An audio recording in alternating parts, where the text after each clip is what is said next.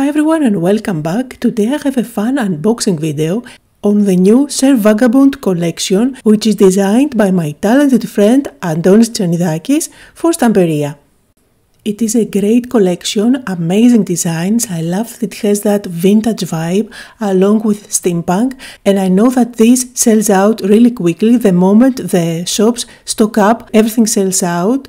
So I thought it would be fun to show you the whole collection, or at least what I have at hand right now, in case you want to grab something.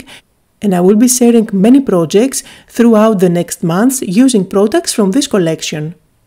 Let's start with a 12 by 12 paper pad, nice thick pages. On the first one you will find many tags that you can cut out, even uh, quotes for your projects. The second page has a Sir Vagabond himself, you can cut him out and stick him on your projects. And I absolutely love the background design as well. You will find lots of gears, cloaks and transportation in the designs. This is another paper where you can see a city along with a sky. You can cut out even bits and pieces from the houses to use them on your project. Now, one of my favorite things on pattern papers is maps. I don't know why, but I absolutely love them and sometimes I hoard them. Now here is an awesome focal point for a page. I'm going to absolutely use this one. I love that you get a train as well as that balloon. And I think this is actually a teapot, a steampunk design which is really unique and makes a great focal point. In this page you also get that town, I think it is the same design, but this time it, uh, it has that vintage vibe and color with browns. You can cut out different houses all the town as a whole and I absolutely love the background at the top that says the Traveler News, love newspapers as well as maps and you will find this one as a stencil in this collection as well as as a stamp. You will see them later on. Now here is another map, you know I love those. The next page features an angel or a guy with wings and um, you can even cut him out as he is and use him on your projects or just use the wings which is something that I plan to do. The background is also great on this page and you get this one without the angel at the back so you can use bits and pieces from that. And the truth is that I never use these papers as a whole, I always like to cut out bits and pieces to incorporate them on my projects. Now this is a page that gives you many different uh, rectangle designs that you can use them as a rectangle or if you want you can just cut out the focal point on the inside. You get cloaks, maps, the wings, Sir Vagabond, the, um, a couple of uh, quotes and at the back you will find that uh, the design aligns perfectly. So if you are one of those guys who create albums and you want to use those as inserts then they are perfect because you will have a front and a back. And I love that you get two big quotes which are perfect for finishing off a project, especially in my case that I like to create art journals. In this page you get a whole Sir Vagabond, not just his face. The pack is quite subtle but I absolutely love this type of papers because they make the perfect background. Now the next one has a lovely color combination. I love blues and browns together and you get cloaks and compasses. Then this is the page with a lovely geometric design and you will find something similar in a stencil as well. And another map, my absolute favorite of the whole collection. I love the vintage vibe that you get different bits and pieces in between where the ocean is. And uh, at the back you will get another map in the same vibe as well. And this is a favorite paper, but for me, lovely collection just because it includes so many vintage maps. And that's the reason why I get two of the same uh, paper pads so that I can use both sides and I don't have to fight with myself on which side I will use on my project. Now here's another one that has that newspaper vibe on it, great for backgrounds and the back is again pretty much similar but in a different color combo. This is one of those pages that you can cut out all those bits and pieces and there is another one like this one so if you do want to grab the extra pack of die cuts or the chipboard pieces and such, you are good to go with this paper pad. It has so many different bits and pieces that you can use. And this last page has a lovely design, perfect for backgrounds. Now this is the 12 by 12 paper pad, but you will also find it available in an 8 by 8 size, which is going to give the exact same design but shrinked. And let's move on to the stamps for this collection. They have the same vibe and designs as the paper pad, so you know what you expect. Lovely, lovely designs, especially if you love steampunk and vintage.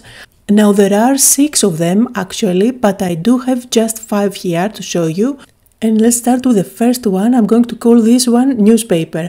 I love stamping with a text stamp on my backgrounds. It's one of my go-to techniques and I think that this is a stamp that I will be using again and again. It is a rubber stamp so you will get fine details which you cannot get with clear stamps. And don't get fooled by the packaging, the stamp is really big so you can see the difference here on the packaging which is really shrinked. Now one thing you need to keep in mind with these rubber stamps by Stamperia is that uh, they are nice and rubber and they have foam at the back but it doesn't clink. So if you want to clink that on your stamping platform or on an acrylic block it's not going to clink, this is foam at the back. I am going to show you, however, how you can work with that. It's really quick and simple. Let me open up the next stamp where you will find the Sir Vagabond. This would work on an art journal or any other mixed media project, but also on a card. Now again, don't get fooled by the packaging. The designs there are always ringed, but you see, you get nice big stamps to work with. In this set you will get the big Sir Vagabond as well as a clock with wings on each side and again you can stamp the wings and separate them to use them for something completely different. You will also get cloaks, gears and even uh, words. Now the stamps are uh, designed to work on mixed media projects as well as art journals and uh, that's why they don't clink. You usually work with them with your hands and you stamp here and there making sure that you get a non-perfect impression that is going to look organic and uh, quite grungy. But if you want to have a perfect impression, then place the stamp on top of your surface and place the paper on top. This way you will get a better impression and another way that I like to do, and this is probably my go-to method, is to use some double-sided tape at the back and then this is going to clink nicely on top of your acrylic block or your stamping platform. Just because that uh, tape is on top of the foam, you can easily wrap it off if you want to clean that adhesive at some point, or you can even wrap it with one of those uh, adhesive erasers. But I once I put a double-sided tape there, I just keep it there because it gives me an extra option on using those stamps. And you can see it doesn't even move when I place it down on my surface. So anyway, let's move on to the next stamp set. Now this is great for creating borders. You will get clocks, you will get gears as well as um, a geometric shape. And again, these are nice and big, bigger than they appear at the front of the packaging. If you are into mixed media, I know that you will be using those borders a, a lot, again and again, because they are really versatile and they would match many projects.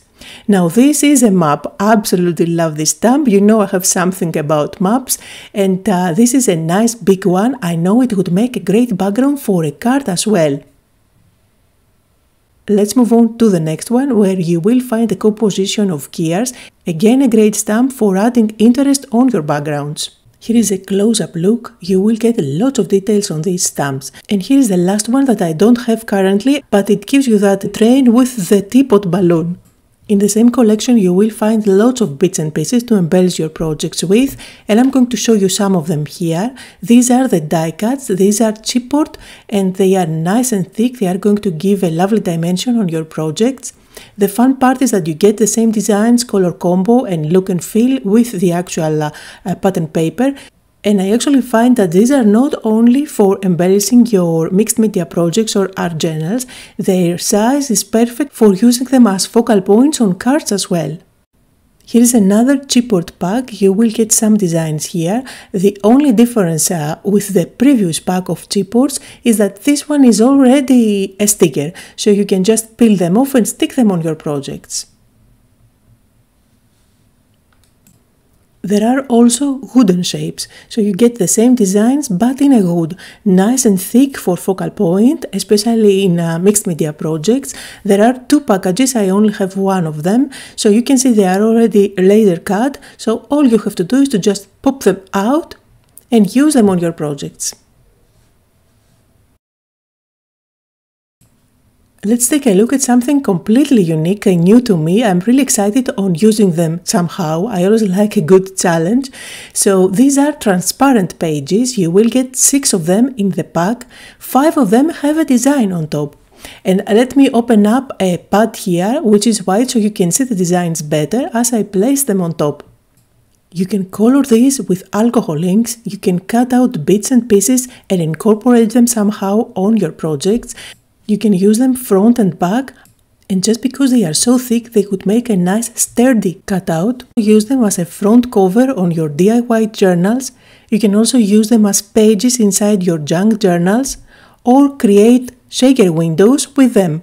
They are nice and sturdy and you see you get so many different designs. You will get in the package six pages, one of them is completely transparent and of course you can stamp on it if you like, just make sure that you use an ink that doesn't smudge on acetate. I'm really excited for these ones and I cannot wait to find a way to incorporate them somehow on my journals.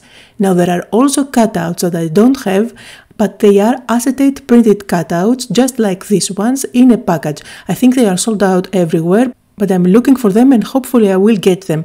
Even if the soaps sell out, they will restock, so just check back again and again for the products that you really like. I also have two rice papers from this collection. There are rice papers in this size, about letter size or A4 for the Europeans. I don't really use rice papers a lot, but I find that they are a great way for beginners to start a page since you just stick it down and you have something to start with. And I think I will use this one in one of my projects as an example. There are four rice paper designs in this size, as well as two rice paper designs in the large size. So you can check them out if you want. And now let's take a look at the stencils. Oh my god, the stencils are absolutely stunning, nice and thick. So if you work with paste, it is going to have a nice big texture. There are five stencil designs available. I only have two of them here, but I am trying to track down one that I don't have and I absolutely love, which is the newspaper, which I have as a stamp as well. In this stencil you get text at the top and at the bottom, as well as a wing and always remember you can flip the stencil to use the wing facing the other side. And the second stencil that I have is the one with a geometric design which is a really versatile stencil. In the same collection you will find grey boards. These are paper and they are quite thick that you can build up on top of your projects, especially if you are working with mixed media, then I know you are really familiar with them. They are not super thick and you can use them as uh, focal points on top of your cards if you want to make something dimensional, but you cannot go crazy with them inside an art journal book. However, if you are working on mixed media projects like a canvas for example, then they are perfect. Now this is an owl. You can build it up by placing layers one on top of the other. Although I'm not into three-dimensional projects, this is so stunning, I think I'm going to use it in one of my future videos. I just want to put this together. Here's another pack where you will find lots of cloaks as well as gears. This is full of gears in smaller and bigger sizes. I know that mixed media people use those a lot. And finally here is one that gives you a combination of gears as well as words. Finally, if you like to create your own three-dimensional elements, there are molds. These are two of the four available silicone molds and you can see the lovely designs. They are really thick and you get lots of dimension. Just because they are silicone, they are really flexible and you can take out your uh, project easily. You can use them with paper clay, you can use them with resin, and you can even fill them up with silicone from a hot glue gun. There are also bigger plastic molds. These are about A4 size in size for the Europeans or letter size for the US. Since I usually work on an art journal, I don't normally use these three-dimensional elements, but I think they are a great challenge for me and uh, since I have those molds, maybe I will dive into that uh, journey this year.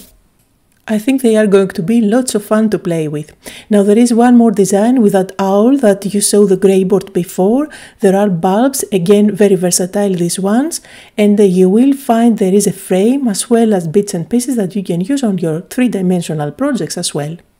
So this was the whole collection. There are some bits and pieces that I don't have yet. Since I do have a popular channel, I do get these products for free directly from the companies, but I think that these video can be helpful for you since you can see the whole collection, see the products up close and decide what is a must have for you. You will find down below links to three different shops that have this collection. Some of the products may sell out, but um, they will restock soon, so just keep an eye for the things that you really love. Thank you all so much for watching today and hope you will have a lovely day.